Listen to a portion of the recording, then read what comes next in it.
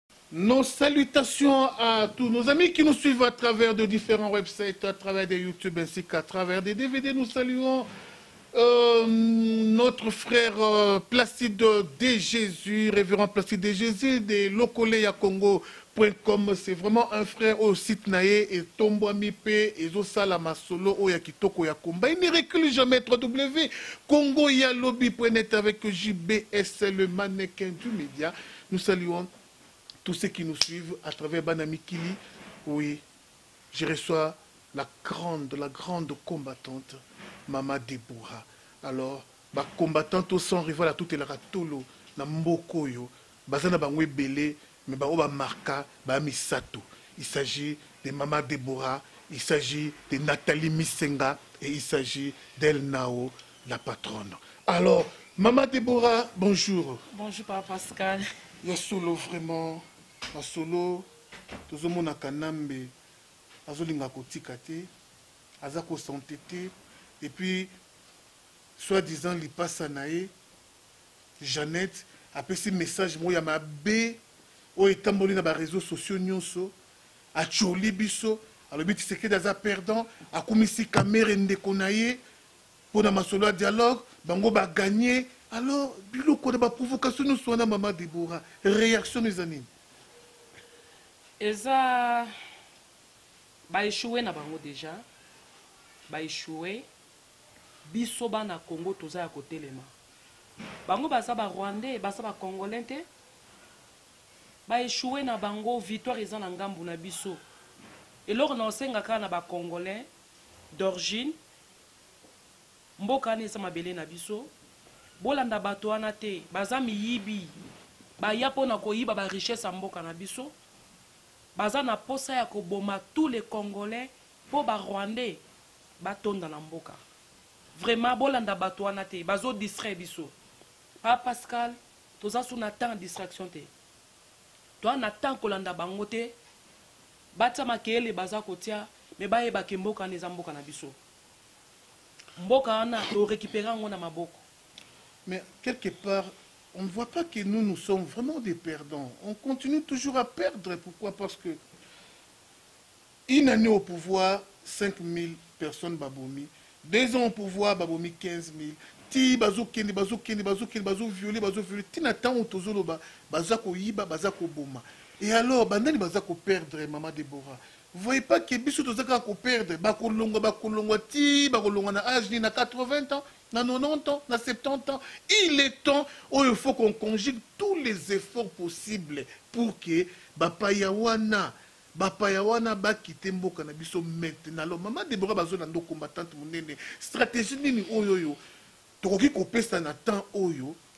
pona kobengana mopaya? Je ne joue pas le role de journaliste ba ndeko na ngai, naza combattant pour l'instant. Je passe à tant que combattant po ba ndeko mosusu ba salaka ba commentaires na ba Facebook oh yo journaliste oza na partie pris, journaliste oza neutre ndeko na ngai omona wapi ata ko kabulo? Mwana kabulo congo ebeta na Rwanda kabulo akumisela bino Rwanda ou bien kabulo azala neutre ezalaka te bandeko na nga nga na combattant pona masolo ya mboka ki journaliste totiaka yango na mua pembeni maman Deborah ba strategie nini toko ko appliquer na temps oyo po en tout cas elela strategie eza nini pa Pascal congolais Il faut tolata esprit ya ki combattant. Oyo oyo biko oza no combattant te, lata esprit wana. Kotisa esprit ya ki combattant mpo na souci ya mboka na yo. Il faut totelema mpenza ya kotelema. Tosi totelema, totelemi lisusu et puis congolais nyoso oyebi ke oza na souci ya mboka no etat ke congolais et congolaise, Lata esprit ya ki combattant lokola ya Tshitshi alobi ke to lata esprit ya ki combattant to lata yango pona to bengana ba nguna oyo baza na mboka na biso eza kaka na munoko te na ba Facebook te ko telema penza ya ko telema peuple congolais oyo oza na Kinshasa partout na ba Goma partout bisika nioso Kabila aza koboma aza kotala ekolo te azo boma muluba Aboma muswahili, azoboma mungala, mukongo, ba shilele, bikolo nyoso kabila azoboma a na souci ya ba congolais tosila na mboka yango wana tout les congolais oyo oza partout boyeba ke kabila alingi biso te alingi biso ba congolais te baza wana ekiri na bango ya ba rwandais baya na miso mpo na kosisa biso mpo na kodetruire mpo na koyiba Yango wana totelema tokotisa mpenza esprit ya ki combattant partout oyo oza partout ezala na diaspora partout tous les congolais azwami botelema mpo na interet ya mboka na biso tobengana banguna oyo bakotela biso na mboka biso nde tokobengana bango mutu mosusu te biso nde tokobengana bango bamusulman bandeko na biso baterroriste bakotaka bacour mm. banotion moko ekotisaka bango vraimen baesprit ya accepte na ye bombe akende me mm. aza na victoire aza na esengo ya akende kokufa mpo na nini bazwelaka yango bacour biso mpe bacombattant il faut tozwa tolobaka mingi me petit faut to pesaka mpe mwa banotion moko boye oyo moto akokotisa esprit ya kicombattant bandeko na ngai Combattant aza nani? Un combattant d'abord le combat c'est un etat d'esprit ne vous en faites pas moi combattant nasi naloba yango une fois que nga na mutu esprit koleka meme na ba na general kanyama bomona wana so babi batia vrai general bakotia nde ngai parce que so otali mpe biomona kanyama wana aza mama na pere koleka ku na ngai balongola ba ba ba ba ba ba teni alataka wana eza etat d'esprit ndeko na ngai liwa eza partout soki olongoli kaka crainte ya liwa ndeko nango okozala vrai combattant longola kaka somo ya liwa okozala vrai combattant alors mpo na intérêt na yo mpo na intérêt ya mboka na yo mpo na intérêt ya famille na yo mpo na intérêt ya peuple na yo ndeko accepte d'affronter la mort. Quand tu vas accepter d'affronter la mort, tu verras que la mort va te fuir. Ndeko nanga bako sauter soki ozali opesaka 45 kilo eke oza no na makasi te otelemi oyebisi edingo olobi ke soki opuse na kobeto lokola beba 2 ans so ozaka mobali yo edingo eyaka kaka okomona nde na kosala yo ndeko edingo aye moko na motema kobanga ah moto vraiment nde azosusininga boseka aza mpe danze aobanga alo ndeko na ngai etat d'esprit david abomaka goliath mpo na nini alongolaka crainte kati na ye ayebi ke celui qui est dans lui était plus fort que oyo aza kati na goliath alors ndeko na ngai affronte la mort soki affronte liwa liwa ekokima yo il faut accepter des risques et des hauts risques biso oyo tozoloba oyo toaccepta barisque nyonso ya mokili moi qui vous parle nawuti hopital mama debora koyeba na koexplike bino mais malgré attaque komba ngai nazwi je ne lâche pas ee victoire mpe eza kala te bokomona ngai na kinshasa na naleki na rtnc nazobeta maboko mpe nazobeta basifle ntango tolobaka aletoke nde aletoke yango nde tokoya sikoyo na kongo yango ya bie kala mingi te j'ai la foi et je suis sûr kala mingi te peut-être ba deux ans kuta nango mpe ebele alors bandeko na ngai mama debora oyo aza liboso na bino auti operde mama na ye na circonstance nini oyo aperde mama na ye elle va vous expliquer alors combat oyo toza koaccepte faut kondima mpe barisque alors barisque wana ekoya nango me koneutralize bino te plus ba risque ezoya plus que victoire mpe eza kosapproche moins ba risque ezoya moins mpe victoire victoire mpe epusana pembeni na yo te combattant telema bunda mpo na mboka na yo niveau oyo kanambe a il a craché sur nos visages. Peuple congolais, jamais et Salema monde. jamais esalema na monde oyo mopaya oyo atanga ata classe te mopaya oyo awuta soki wapi bandeko na nga aye abwakeli biso soyi avandeli biso na motu toza kotala ye na misu eza mpasi ti na ndeko no ya mwasi oyo nayebi te je n'ai pas la culture d'insulter le gens mais est-il que Cette Jeannette oyo na yebi te vrai congolaise au vrai sens du mot azala atikala jamais kozala na elongi lokola ya Jeannette jamais bandeko na ngai vraiment vraiment Jeannette aya kotyola biso atyola biso bandeko na ngai vraiment bozotala na miso yango bakino boza wapi bakongole boza wapi bandeko na ngai yango ndeko ayembaki kongole oza zoba tokipikaka makambo ya miziki tokipakaka makambo ezanga ntina tokipakaka biloko ezanga ntina bandeko na ngai mboka ekendaka kanambe a impose dialogue na nko kanambe avanda na nko batyola biso na nko e baopposant basimbisi bango tushe na nko batye bango mopanzi na nko epuis kamere kamere oyo boyebaki bino biko aza rwandais oyo atyolaki bino na ebandeli kalingi dialogue te akoti dialogue na nko avandi na nko ti bokoyoka mpe kelobi ke bazwi baresolution na bango na nko kamere premier ministre na nko bozotala makambo nyonso na nko Congolais oza wapi mama Deborah mwa liloba. Pa Pascal eza pasi Congolais azo comprendre valeur na ye te. Congolais ayebi valeur ya mboka na ye te. Botala ndeko na nga pa Pascal avandi awa na Jobourg mais ake kozwa traitement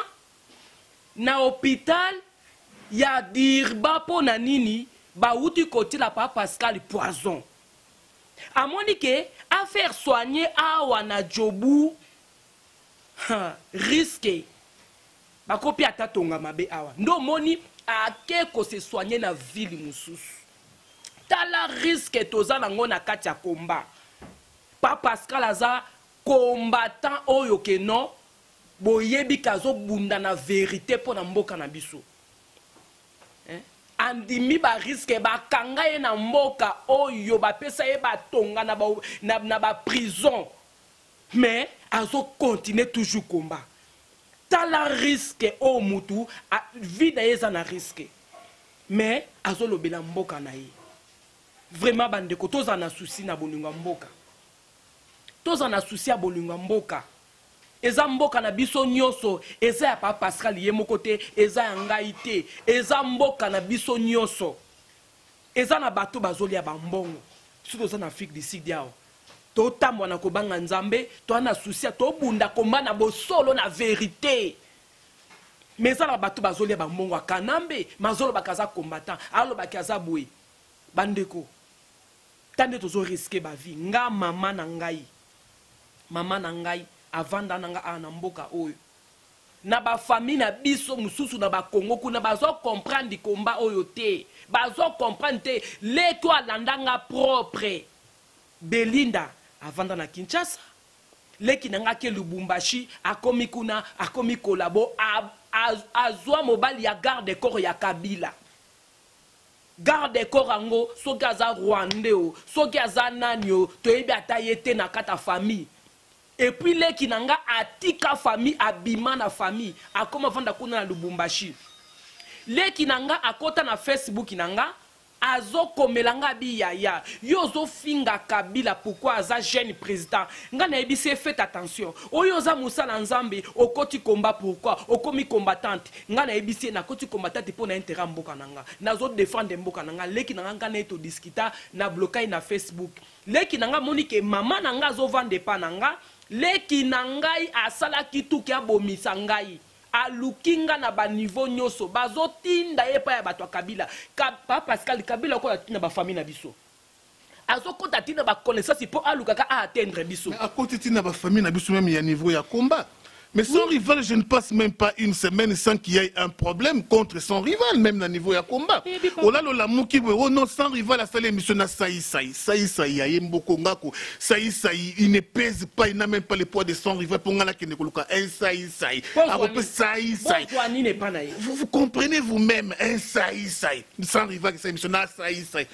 tala nanu vraiment bato ya théâtre bainteresaka ngai na eloko moko te si ce n'est que badistraction sur distraction merci mais oyo eza temps ya distraction te ndenge toboya musique ndenge ngai mpe nakosenga tomeka na kotia nano na banda bathéâtre na nano ma mopanzi mpo oyo eza temps oyo tosima na manduki tobenga na mopaya na mboka na biso mais okolala olamuki babambeli sans rival likambo o sans rival bamonaki ye boye o sans rival boye pourquoi ba infil ambassadeur mpoko oyo aza mm. akoma kopesa mbongo ntina bacombattant misusu oyo bazali mpo bakweyisaka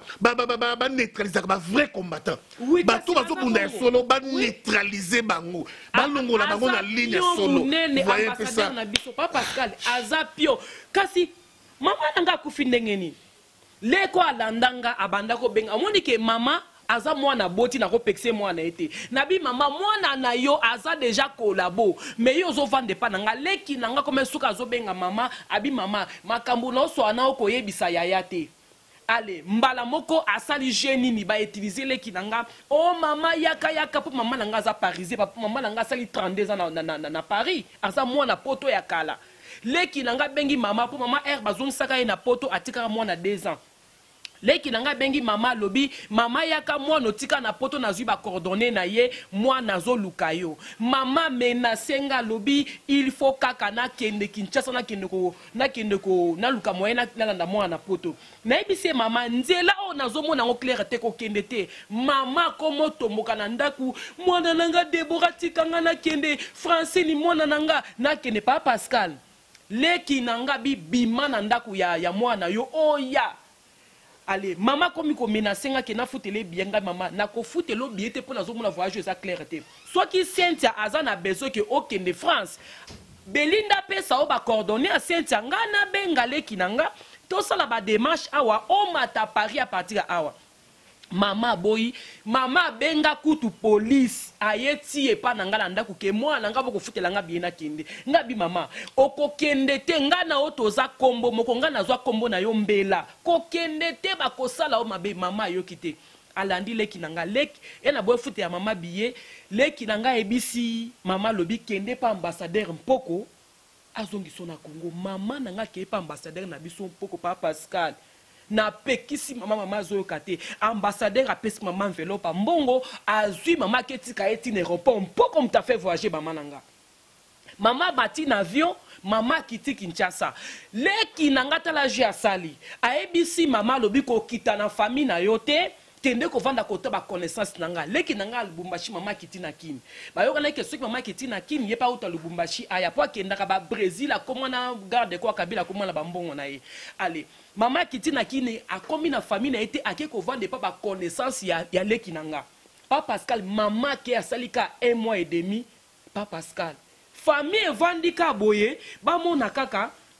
bato mbale e mama na nga ba camarade ya leki na nga baketi ya mama asali crise baketi ya na hôpital mama ye mama akufi akufaki le 15 août mama ere akufi babengi leki na nga ke mama no akufi oke bokende koyebisa famille na ye ke mwana na bino akufi tala je leki na nga asali Ba connaissance ya leki na nga ba keye epai na epai ya famille ya, ya, ya mama na bandal epai ba oncle na mama leki na nga. Mama leki ba mona kaka batu bazoya. O toye conforme bino ke mwana na bino Meje Mbela aza na mama Yemo. Mama na nga o bozi bozia na yemba. Mère Meje. Bozi bozia na yemba. Mwana yango kitoko eleka ye. Ambela, ambela, mbela. Ambela, mbela. Bozi ayemba mama. Mère Meje. Mama na nga. bango nde basimba poto paris na batan wana ale bamali bandi kolia akufeli nini leki na yo moto abomisi mama epuis pa pascal likama okamwa ndenge nini mama na nga akufi leki oyo abomisi mama azaka na lubumbashi akanga telefone atikala koya na ebembe ya mama te mpe alela mama te akunda mama te Papa Pascal, tala ah niveau. oui, vraiment, ça fait mal, ça fait très mal. Alors, euh, vraiment, je demanderai à tous les amis qui nous suivent de partout, Media Medina, partie de la Hollande, Place de Jésus, JBK Musique, Binono Sobrolanda Bisso, vraiment, Tobenga na Congo. opération tumba ndako bandeko na nga vraiment bazosakana na biso souvenez-vous na temps ya conférence nationale ezalaki oleki na tv okumisi mobutu boye nanu kutu osilisi te ndako no na se alors Bandeko na nga vraiment tosala ba operation tumba ndaku tosala operation tumba ndaku ndeko soki ozwi petrole ozwi petrole bi essence otya yango na molangi ndeko nango okangi yango bien ndeko soki obambi yango na ndako na moto directement eza na se bandeko na nga vraiment vraiment vraiment totelema totelema tosikola mboka na biso totelema tosikola mboka na biso je ne vous envoie pas na niveau ya koboma bato na ndenge ya bacrime te me na ndenge ya kolibere congo il faut libere si wispakem parabellum disent les latinistes si vous voulez la paix préparer la guerre alors c'est ça la guerre qui a déclenché la guerre c'est lui-même kanambe ye moko nde moto a déclenché guerre bandeko levez-vous il est temps il est temps c'est maintenant ou jamais c'est maintenant ou jamais bato ya sa mai bobima na bobima bato ya oyo baza likolo na mapata bokita na se biso nyonso tosimba manduki tosikola mboka bato ya soulèvement populaire c'est maintenant ou jamais bapolicier soki oza congolais vraiment ya solo ndeko na ngai policier ya solo zwa manduki na yo zwa manduki na yo Tia yango epai ya mopaya, bengana ye na mboka. Ba soldats congolais, zua manduki na yo.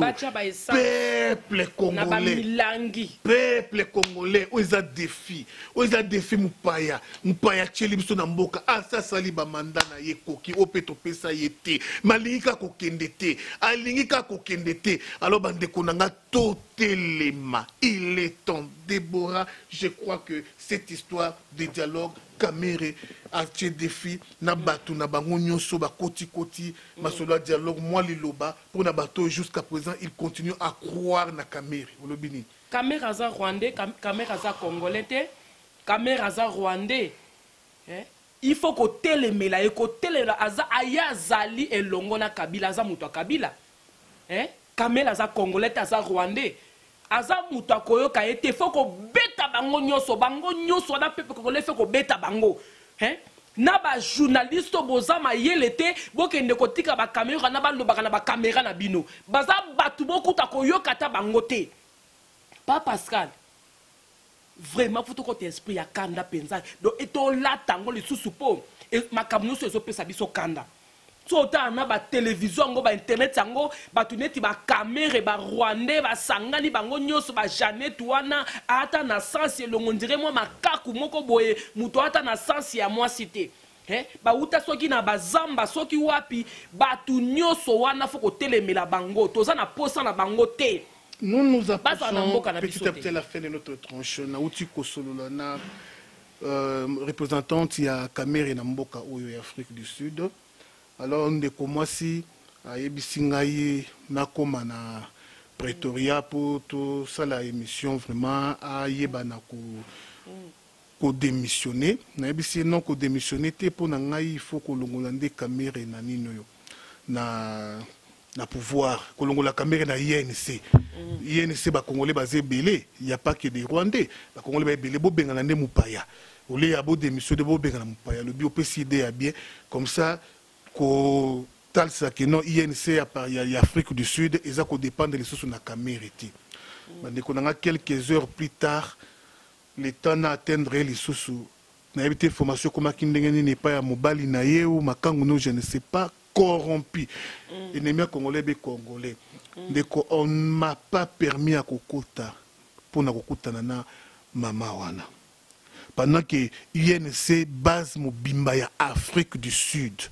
ba boyi na bango dejà kamere à partir makambo ya dialogue mm. base mobimba ya afrique du sud ba boyi na bango kamere et cette femme number one alingaki a publier yango mais mm. ambassadeur mpoko apesi enveloppe ekoti na nzela mobali na ye et l'affaire se tue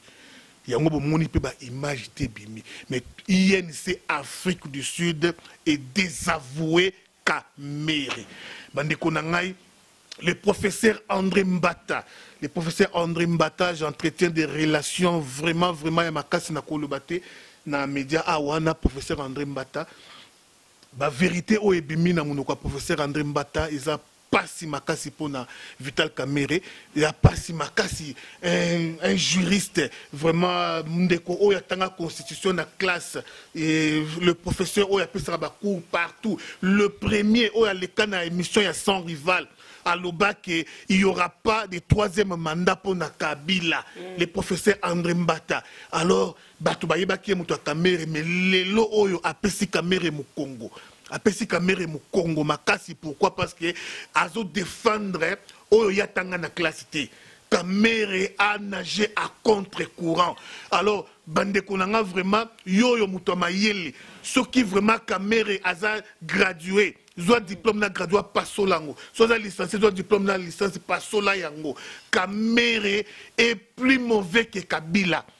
kabila abomi bato mokili erevese na mokili kabomi 8 millions de morts mm. erevese na mokili kaboma chebeya abomar matungulu me kamera akoboma plus de 8 millions plus de 16 millions me bokoyeba te kabomi plus de 16 millions parce que ana mayele moko trop rise koleka kabila mm. donc a motu akoboma yo boye osekisi oyebi te kabomi yo mpe atio na confusion na ndeko na yo ti okufi oyebi ke ndeko no nde moto abomi yo me ye kamere moto abomi yo kamele yo moto akobare mm. kamele yo oyo ya kamere bandeko na ngai Oui, famille nezaka na Afrique du Sud, bandeko na nga congolais. Naloba kaka ba combattants te. Congolais nyonso oza na Afrique du Sud. Mm. Ndeko na ngai défendre mboka na yo soko moni mwana ya Kamere.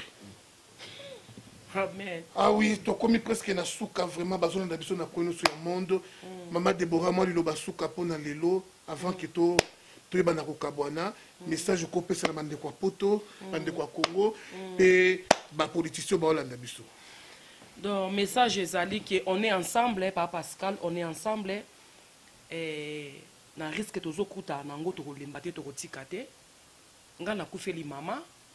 pa pascal awuti na hôpital alinga père de vie mais aza bonne santé nzambe aza na contrôle vraiment Bandeko boza na diaspora botelema lisusu bozala lisanga bozala separe te na congo bomoko pa pascal bolingo nzambe azosenga na biso bacongolais tolingana tozala na susi ya mboka bandeko pourkui toza divise pourkui koyinana mpo na nini tozala enemi ya rwandais me kozala enemi ya ndeko no congolais te fo tozala na bomoko tolingana nde, linga ndeko no congolais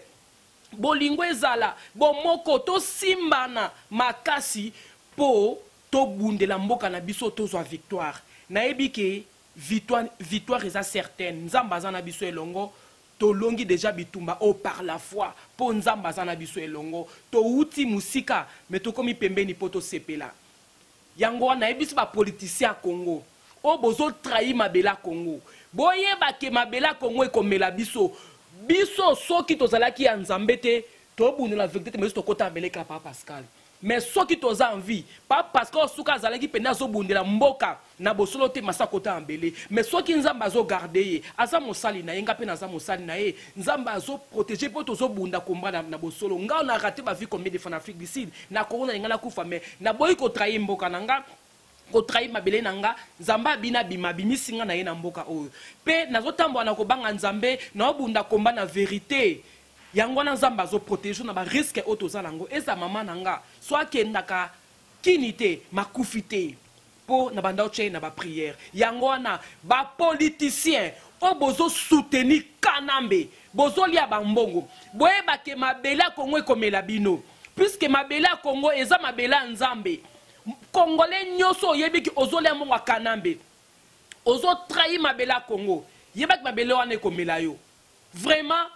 oyo bozobunda na verite na bosolo tosimbana Pona tokangola mboka na biso eza mabele na biso eh? bandeko ya biso na Congo bazo souffrir Kabila azoboma azokota na mabota bale moloto bakufi bamari misao bango bakei papa ema bango bakei kabila azosisa na este kuna bato bazokufa butu na moi bandeko na nga bozala na susi ya mboka ko eh? tozoperde bafamille na biso Nga kabila abomi 4 personnes na famille na nga ba noko na nga ba poison ba kufi mais toko tika te na lelaki maman na nga kufa te eme koki te na lelaki mais naza ya kotelema naza ya kotelema jusqu'au bout toko longa naza na confiance ya nzambe na biso pa pascal courage papa courage ndeko na ngai nzambe aza na elongo Oza molobela mboka nzambe asimbi yo jti na suka toko kita kin pa pascal na nzambe elongo pe toko tatola monene ya nzambe na biso.